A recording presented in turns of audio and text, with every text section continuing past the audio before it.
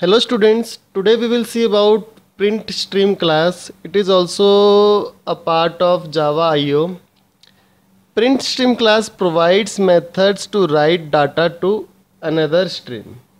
Since the print stream class automatically flushes the data, so there is no need to call the flush method. So there is no need to call flush method.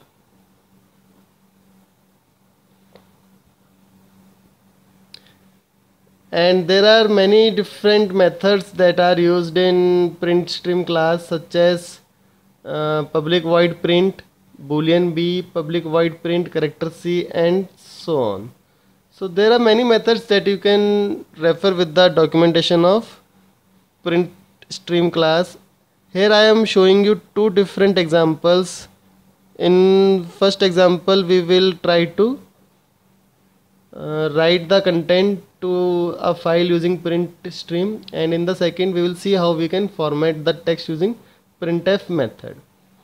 So the structure is already created. So now if I have to write the content I have to create an object of file output stream. So here I am creating file output stream object. F out is equals to new file output stream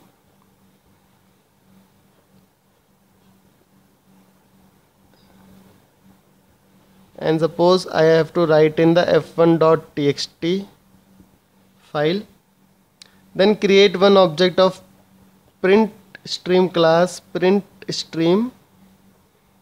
P1 is equals to new print stream. And associate that f out object with the print stream class. So associate it like this. So now if I have to actually write this print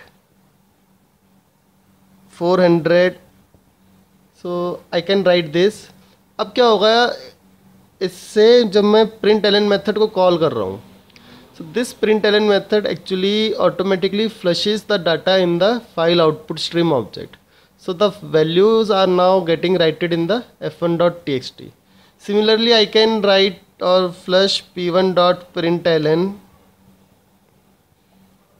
string values. This is very convenient way of using uh, writing contents to the file.